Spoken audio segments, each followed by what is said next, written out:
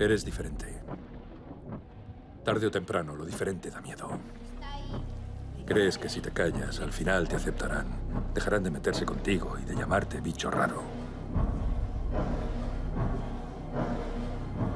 Víctima o no, has de tomar una decisión. Su hijo es un niño excepcional. No me sorprendería que tuviera más cosas en común con Einstein, Mozart o Picasso que con nosotros. Tiene unas capacidades cognitivas muy desarrolladas.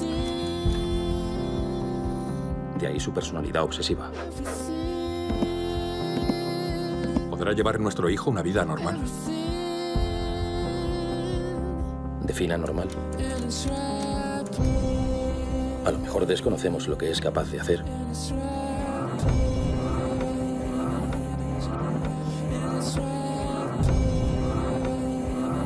Imagine que es el jefe del cártel de Sinaloa.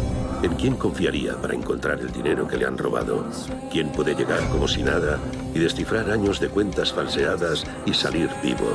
Imagínese los secretos que conoce ese hombre. ¿Quién eres?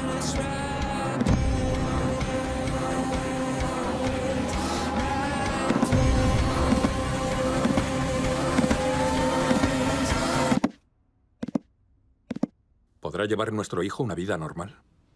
Defina normal.